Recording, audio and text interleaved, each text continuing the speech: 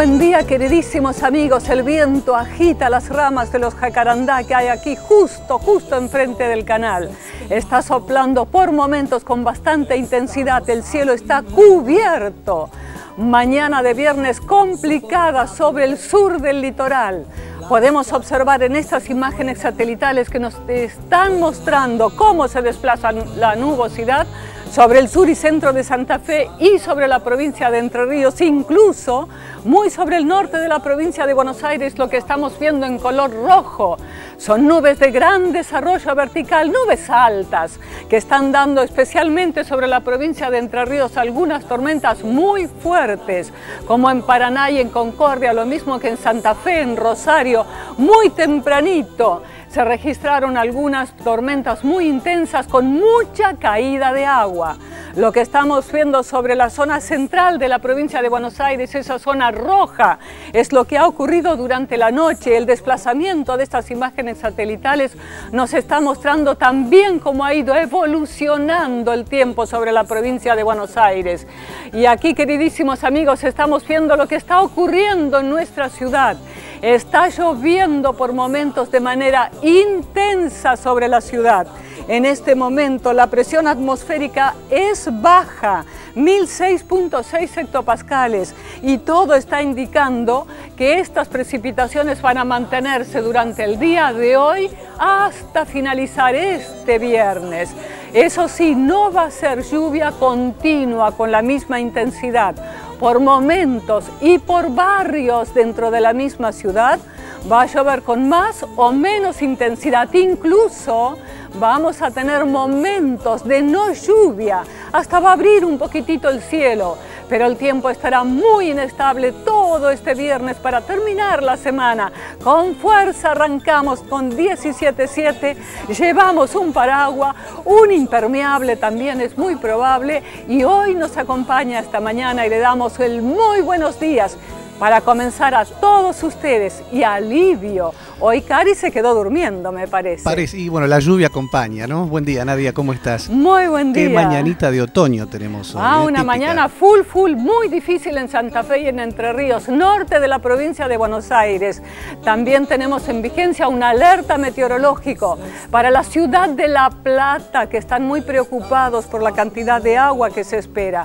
Ya les cuento que si bien durante todo el día en la ciudad de La Plata el tiempo va a estar muy inestable con lluvias, por momentos bastante intensas, pero no se espera un diluvio con muchísima agua en muy poco tiempo, con lo que es muy probable que el agua en la ciudad de La Plata pueda escurrir normalmente. Claro, estoy hablando de condiciones normales en el lugar, ¿eh, Livio? Bueno, ¿te parece, Nadia, si comenzamos a informarnos? Está Hugo Palamara conectado para darnos a conocer los ingresos a Capital Federal, trenes y subtes y el cuidado de siempre en los días de lluvia como hoy. Buen día, Hugo, ¿cómo estás? Te escuchamos. ¿Qué tal? Buen día, Livio, Nadia. Y una jornada, sin duda, como están señalando, y lo decía Nadia, para transitar con mucho cuidado. La calzada está húmeda, por momentos llueve con intensidad, poca adherencia, poco grip. Hay que aumentar la distancia entre vehículos, evitar realizar maniobras bruscas por supuesto eh, frenar progresivamente. Eh, vamos a comenzar eh, comentando que en la zona de Congreso, atención para quienes tengan que transitar por la avenida Callao, a la altura de Bartolomé Mitra, aproximadamente entre el 100 y el 200, hay una campe, hay un corte parcial. Si bien ahora todavía el tránsito en la zona no es muy intenso, ya comienzan a aparecer algunas demoras y a medida que se incrementen las horas, las demoras también van a ser mayores. Así que atención entonces, zona de Congreso, Callao y Bartolomé Mitre, corte parcial por manifestantes. Hay un carril y medio cerrado del lado izquierdo frente a una dependencia del Ministerio de Trabajo. En cuanto a los ingresos, como estamos viendo, por ahora las calles, algunas, por ejemplo, la avenida Jujuy, bastante despoblada por Redón, pero en el caso de Figueroa Corta, esta imagen que nos brinda nuestro compañero muestra mucho tránsito, incluso pesado, hacia el norte de la ciudad y el norte del conurbano. Atención con los vehículos pesados que ya están movilizando, por ejemplo, hacia la zona portuaria. La autopista panamericana cargada desde la zona de bifurcación y con mucho spray que van largando los vehículos a medida que van transitando. Por último, hablamos de servicios. El paso a nivel está cerrado de la calle Artigas y vías del Mitre, cerrado por obras. ¿Cómo están funcionando trenes, subtes y premetro, al menos por ahora, con muchos pasajeros pero de acuerdo a los cronogramas señalados. Si les parece, volvemos en minutos y ampliamos el estado del tránsito en algunas rutas del país. Hasta luego. Hasta luego, Hugo. Te esperamos. Llueve por momentos de manera intensa sobre la ciudad de Buenos Aires. Queridísimos amigos, fuerza que es viernes. Y el que trabaja el sábado, ya le digo que el sábado no va a llover. Y aquí tenemos el alerta meteorológico que tempranito, muy tempranito, actualizó justamente el Servicio Meteorológico Nacional. Para el noreste de La Pampa, norte de la provincia de Buenos Aires, Entre Ríos, Santa Fe, Corrientes, atención correntinos, la ciudad autónoma de Buenos Aires, probables, probables tormentas fuertes. Las condiciones comenzarán a mejorar, queridísimos amigos, hacia esta noche, lentamente, desde el sur hacia el norte de lo que está cubriendo el alerta meteorológico. Y vamos a saludar en este día tan pero tan inestable. Hay que tomarlo con mucha paciencia y ganas ¿eh? este viernes, Lidio. Bueno, los amigos que se comunican, Nadia, cada día para saludarte, para decir presentes aquí acompañándote cada mañana. Oscar Basso, Nadia querida, somos de somos Pau, Oski y Rocco. Hace tiempo que no te escribimos, pero siempre te miramos. Te mandamos un beso enorme a vos y a todo el equipo. La que ves en la foto es la Tota, mamá de Oski. Mandale un beso y como siempre, aguante la TV pública. Muchísimas gracias, Oscar Basso. Bueno, entonces para la señora Tota le mandamos un besazo y también muchísimos cariños para Pau, Oski y Rocco. Bueno, vamos, que falta poquito, hoy es viernes y vamos al fin de semana. Fin de semana pinta muy bien. Eso sí, ¿eh? preparen abrigos.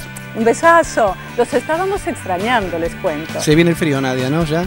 Para el fin de semana, sí. Bueno, y bueno, cambia el tiempo. A ver qué otro saludito tenemos en pantalla. Ahí está Cristina del Norte. Hola Nadia, buenos días. Nos encanta verte cada mañana. Mi amor Luis.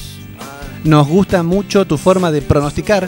Saluda a mis hermanos y a mi padre que están en Tucumán. Besitos. Tucumanos queridos, Cristina del Norte con su amor Luis. Qué bien, ¿eh? que estén ahí juntitos. Bueno, en Tucumán las cosas meteorológicamente hablando están mucho más tranquilas. ¿eh? Por suerte. ¿Cómo está el tiempo en el sur del litoral, norte de Buenos Aires? Por suerte, para La Plata nos espera un diluvio en muy poquito tiempo, pero llover va a llover, ¿eh? Qué pena por las zonas. Bueno, Irene Vanina Rickel. Buen día, Nadia. Te estamos mirando como cómo estará el tiempo acá en Concordia, Entre Ríos. Besito para vos y a Cari y a todo ese gran equipo de trabajo. Ay, mi amor, Irene. En Concordia, diluvio eh, hoy. Llueve y va a llover, va a llover, mi amor, y bastante agua. Recién para el sábado, después del mediodía, las cosas van a cambiar. Desde aquí te mandamos un gran cariño, Irene, y buen fin de semana. Si quieren estar informados del tiempo a cada ratito, el Twitter de Nadia es arroba nadia-630. Y tenemos los títulos de la hora para comenzar a informarnos Muy en esta mañana, bien, Nadia. para todo el país y para Irene en particular. Cristina gana juicio por difamación. La justicia italiana determinó que el diario Corriere della Sera difamó a la presidenta Cristina Fernández, por lo que deberá indemnizarla con 41 mil euros que la jefa de Estado decidió donar al Hospital de Niños de La Plata. A un mes de la trágica inundación, miles de personas se congregaron en La Plata para recordar a las víctimas fatales del temporal que azotó la ciudad. En la capital federal hubo protestas en el barrio de Belgrano, fuertes críticas a los responsables de los gobiernos comunales. Declaró Pablo García, el locutor lo hizo por escrito en el marco de la indagatoria que se le realizó en la UFI número 3 de Pilar. Explicó que tras atropellar a Reinaldo Rodas, no se detuvo porque entró en estado de shock y decidió llegar al peaje para pedir ayuda. Continúa el paro de micros de larga distancia. El personal perteneciente al gremio de la UTA comenzó ayer un paro por tiempo indeterminado por falta de acuerdos salariales y la precarización laboral. El gremio está dispuesto a dialogar en busca de la solución, dijeron. Se viene el superclásico con Riquelme como la gran duda en Boca y con la presencia de Poncio y Luna en River, ambos equipos se preparan de cara al superclásico del domingo. Hoy comienza la fecha 12 donde se destaca el partido entre Quilmes-San Lorenzo. Obama se reunió con Peña Nieto. El presidente norteamericano y su par de México ratificaron la cooperación bilateral para combatir la violencia generada por el crimen organizado y anunciaron la formación de un foro para la educación e investigación. Por estos títulos comenzamos bien informados también con las noticias, los títulos más destacados en esta mañana que en el sur del litoral y norte de la provincia de Buenos Aires está complicadito. Un paraguas, un impermeable, no mucho, mucho abrigo, pero algo hay que llevar, queridísimos amigos, porque recién va a ir dejando de llover hacia la noche. Y aquí tenemos las imágenes satelitales que nos están mostrando cómo se desplazan las nubes esta mañana. Bien tempranito, vean ustedes cómo está ingresando nubosidad sobre la zona central del país. Y a propósito, para ubicar los sistemas frontales, vamos a detener esta imagen y vamos a contarles que el aire cálido ha alcanzado ya incluso el norte de la provincia de Buenos Aires. Fíjense ustedes, en tanto que hay un frente de aire frío ingresando sobre la zona central de nuestro país. Va a originar aumento de nubosidad y tiempo inestable allí, ¿eh? en Neuquén, en Río Negro. Esto es aire frío que está ingresando lentamente y nos va a traer el descenso de temperatura en la zona central del país para el lunes. Vamos, las que no preparamos todavía los abrigos, los habíamos preparado, los habíamos vuelto a guardar, porque claro, las temperaturas volvieron a ascender, Livio. ¿Y vamos a tener amplitud térmica entre la mañana y la tarde o viene el frío frío? ¿Vos me decís en estos días hasta el fin de semana? No, digo a partir del lunes que baja la temperatura. Ah, bueno, va a ser frío a la mañana, ¿eh? Vienen, viene el frío. Bueno, queridos amigos, aquí en esta zona lo que hay es un centro de alta presión atmosférica, así que cada uno hace lo suyo. El aire cálido húmedo, el frente de aire frío que está tratando de ingresar, Livio, y entonces Mira, como Cari no está, te pido permiso a vos. Bueno, cuéntanos por el sur. está el tiempo. Por el sur, vamos por el, sur, vamos por el sur, por la región patagónica. ¿Qué va a pasar allí? Ajá, en Ushuaia en este momento hay muy poquita nubosidad. 4 grados la temperatura actual. Pero esa nubosidad es importante, ¿eh? Muy importante, tanto, tanto que para hoy tiene la probabilidad de alguna nevadita aquí en Ushuaia. Calafate, 3 bajo cero la mínima. Bariloche, la bellísima, conocida Bariloche. La amada ciudad de Bariloche, hoy cumpleaños, ¿eh? Hoy cumpleaños, enseguida en unos momentos, después en el noticiero va a haber un informe especial para Bariloche. Les mandamos nuestro cariño. A lo largo de la costa de, Neuquén, no, claro, de Río Negro y de Chubut, la probabilidad de alguna lluvia. Y decía Neuquén, claro, porque la entrada de ese frente de aire frío, fíjense, fíjense la mínima de Neuquén, 9 graditos. Y lluvia, y lluvia, y lluvia para Neuquén. Nos fuimos a la zona central, mucha, mucha inestabilidad, queridos amigos, pero mucha realmente.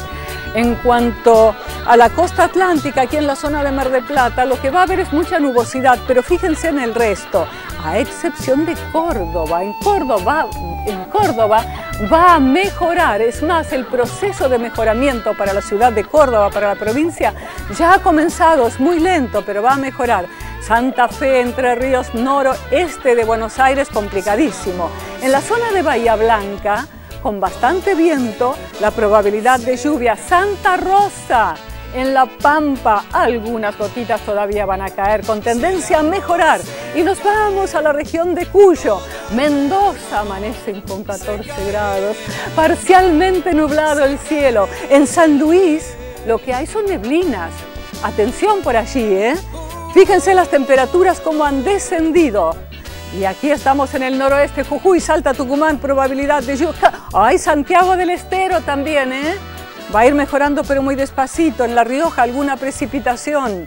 ¡Ay, los tucumanitos, eh! Las tucumanitas ahí, la tucumana del norte con Luis. Bueno, en el noreste, mucha, mucha inestabilidad, queridísimos amigos, aquí recuerden, altísima la probabilidad de alguna que otra tormenta, pero donde se produzca, prepárense para el agua, ¿eh? que se viene. Bueno, queríamos recordarles que en Capital Federal está lloviendo por momentos fuerte, por momentos menos. Recién hacia la noche va a comenzar un mejoramiento mm, realmente más definitivo, preparándonos para el fin de semana. Por supuesto, y por suerte con un clima un poquito mejor que el de hoy, ¿no? Claro, y vos sabés que tenemos a Hugo, tenemos a Hugo. Que, que nos va a contar cómo están las rutas nacionales y provinciales a esta hora. Hugo, te escuchamos. Livio, Nadia, y se avecina, como decía Nadia, el invierno y ya está cerrado. Atención, vamos a comenzar la recorrida por las rutas del país. Ruta 7, Mendoza, Paso Internacional Cristo Redentor, lado de Chile, por intensas nevadas. Ya está cerrado este cruce internacional, reiteramos Ruta Nacional 7 en Mendoza. Hay varios camiones que ya están detenidos en el playón que tiene Vialidad Nacional a la altura de Uspallata. Dejamos este tramo, nos vamos a ir a la Ruta 12, zona del Mercosur, en la altura de Corrientes, intersección con Ruta Nacional 123, desvío por obras, transiten con cuidado. Seguimos la recorrida Ruta 8, entre los kilómetros 190 y 222. Cortes parciales por bacheo, arrecifes, este es el tramo cuna de campeones del automovilismo argentino, se están realizando obras de desvío también en ese sector.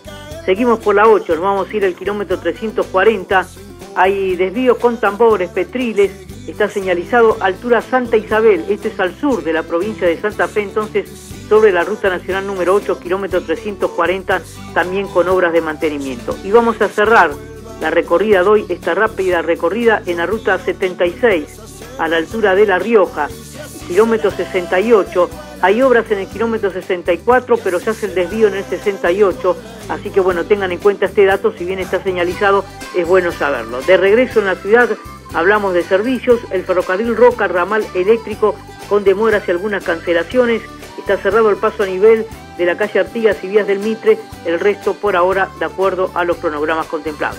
Hasta luego. Hasta luego, Hugo, querido, hasta luego. Te estamos esperando en cualquier momento, Hugo con la información para completarla. Y vamos a ver un informe especial. Las Naciones Unidas, la Organización Meteorológica Mundial, junto con el Servicio Meteorológico Nacional, han elaborado un informe sobre el calentamiento global. Es que la temperatura del globo, del planeta, este año, el año pasado, el año pasado, ha ido en aumento tanto que es mayor casi en medio grado comparado con los registros 1961-1990. El, el 2012 fue el noveno año más caluroso desde que comenzaron los registros, 1850, y ya van 27 años seguidos que la temperatura se mantiene superior a los registros al promedio 1961-1990 aunque el grado de calentamiento varía cada año debido a factores naturales, como por ejemplo los ciclos de la anomalía del niño, las erupciones volcánicas, el aumento de temperatura viene de la mano con el aumento de la polución, de la polución.